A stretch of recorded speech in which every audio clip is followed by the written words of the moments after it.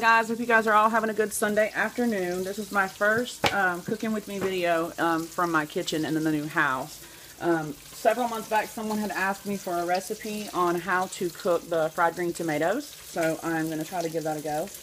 I still do not have a tripod for my phone so i'm still kind of doing it with one hand here. And at the time of me making the um, fried green tomatoes i'm actually like doing pork chops too so probably a little loud. Um, all right, so I went to the grocery store. Normally I go to the produce market, but I didn't go this last go. I just, there's a grocery store that's a few miles up the road. And I was not happy with the pricing in there. It's like $2.99 a pound. That is crazy to me. But um, I've already got them all sliced up. And um, it's a real easy recipe. I know there's a lot of people that that I've talked to like on Facebook and they're like, oh my god, I don't like tomatoes. For me, it's kind of a southern dish. Um, we grew up eating them like when I was younger at home, and it's just one of, it's not really a staple. It's kind of, you know, every now and then you just want to cook them, and I, I end up, when I want them, I just go and buy the stuff and, you know, cook them. But basic ingredients is just your tomatoes, which, I mean, you can see they're already sliced here. Um, and I, you wash them off, of course. You want to wash them. And then I get like a cup and a half of flour. Um, I never use all-purpose flour for anything. I always get self-rising, even if I'm going to fry with it and I don't bake with it. Um, what else? And I use one egg, and then I season everything. Everything in my house just about I, I cook with Cajun seasoning. It's always been that way. I don't know. It just gives the food a good flavor. Um, at Dollar Tree, I think, they have a French fry seasoning. It looks kind of like that. Um, I put some of that in there because I'm out of another seasoning that I have that I normally use all the time. And it's close to that one already. So um, it's kind of different, but I don't know. French fry seasoning, I've never used it on french fries. I've always used it on other stuff. And it was only a dollar over there. So it's almost the same consistency of the spices that I normally use whenever I, you know, use the flour base to fry or, um, you know, like especially for any kind of meat. And then in the other bowl, I have just one egg. Um, I'm waiting on my, I'm waiting on the oil to get warm. If I turn the burner on, it would probably get warm. Let me try that. So crazy. Um, let me see. Hold on, I gotta pull this pork chop out. It's really hard to do everything with one hand.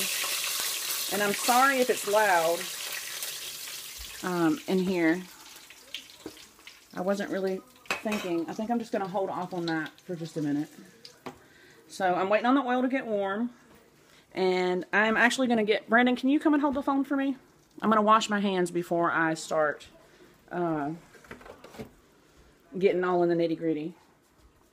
Uh, definitely whenever you're cooking with raw meats, you want to make sure that your hands are clean. So, all right. Um, I, can, I can't flip it at all. I don't think I can flip it at all. You're going to have to kind of like hover it over. It'll be okay though. I think you can do it. Okay, I'm going to hand the phone to you. Just try not to shake it a bunch. Okay? You don't even know what you're doing, do you? Just move move towards me. Just you can look at me. It's okay. He's he's brand new at this, guys. Brand new at this. Give me a second here.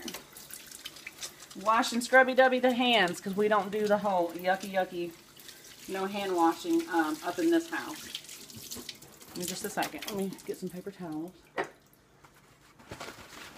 Do you feel weird, son? Why do you feel weird? Hmm? We're cooking. I got you off of the couch. I got your tablet out of your hand. All right, you want to move over this way? Oil is just about hot. Oil is just about hot. You want to hover down. Let's see if we got it. You just hold it and let me see. You're a little too close. Hold on. There. There we go. That's good. Just keep it just like that. All right, so we got the tomatoes here. I got the egg here. Just one egg. I didn't put no seasoning in it. I got my flour right here. It's already done. And all you're going to do, we're going to, I always do the test with the sprinkling the flour over the oil to see if it's going to, and when it bubbles, that's when you know that the oil is hot. So you're just going to take your pieces. Let's see if we can do this. Oh, yeah, we're doing this. All right. So we got the tomato piece. We're going to put it in the egg. You're going to take it from the egg into the flour. You got to go this way, son. Then you're going to go back into the egg one more time. You got to go this way with me. Not trying to make you guys dizzy. back into the flour, and then we're going to put it into the oil. And like I said, the flour is seasoned with um, three of the different seasonings. We're going to go right here to the oil. We're going to lay it in there. And these cook super, super fast. So let me flour some of these up real quick. Into the flour. Into the egg. Back into the flour. You just want to coat them real good. Okay, back over this way.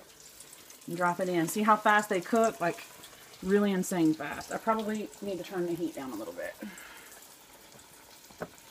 You can do it either way, honestly. Are we into it, Brandon? You can do it either way, honestly. You don't have to do the egg first. You could do the flour first if the tomatoes are already wet.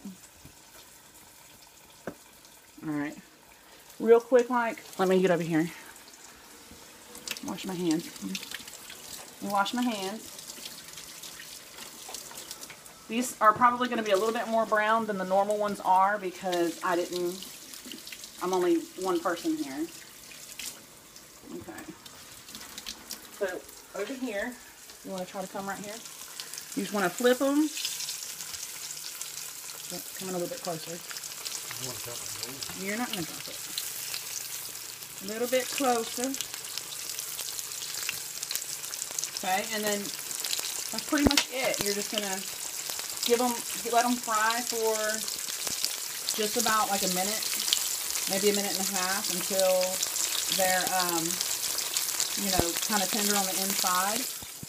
And then you just keep repeating the process until you're done with them. Uh, there's a local restaurant that's here in town, and I went in there and I ordered some from him. I think I'm okay now, Brandon. I went in and ordered some from him, and uh, it was like five or six dollars for one sliced tomato. I'm like, what? That's when you just go to the grocery store and you get yours and you just make them yourself. So, uh, let me see. It is really hard to do this with one hand. Really, really hard to do this. So I'm going to pull these out. I don't never put salt in the flour.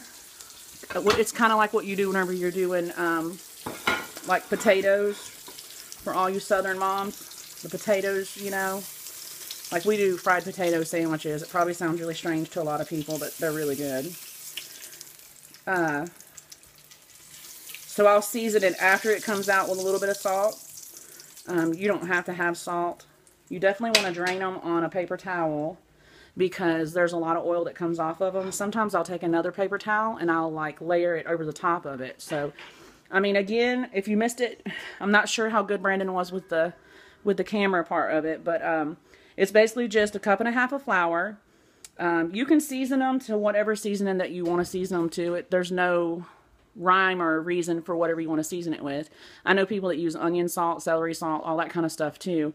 But for me, it's just um, Cajun seasoning, and black pepper, a pinch of salt, and, you know, like I said, I use this french fry seasoning that I got from Dollar Tree like a couple of weeks ago. Uh, you know, normally I'll have like a, uh, I think it's like a Caribbean seasoning that I use, but I ran out of it. So, um, and this is what they end up looking like whenever they're done.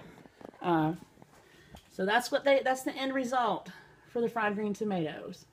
So, I mean, you, they're literally going to slice them, drop them in the egg, drop them in the flour, and then drop them back into the oil.